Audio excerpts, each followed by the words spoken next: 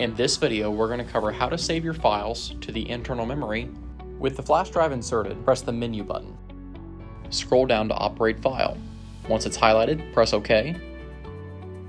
Press OK again, and one more time for UDisk. From here, the controller will display all the files that are loaded on that flash drive. Scroll down until you find the file that you would like to copy. Once you've found that file, press the OK button. After the download has been completed, you can hit the Stop Cancel button. Press this button a few times until you return to the main screen. A quick tech tip here. When running longer jobs, for example a 3D model, it's always a good idea to run from the internal memory. When you're ready to run your file, simply select Internal Files. Highlight the one you want and press the OK button. We hope you enjoyed this video.